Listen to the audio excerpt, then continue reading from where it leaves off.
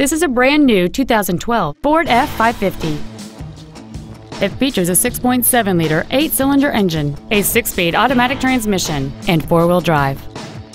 Its top features include front and rear reading lights, an external temperature gauge, 19-inch wheels, tinted glass, a traction control system, an anti-lock braking system, side curtain airbags, door reinforcement beams, and many other features.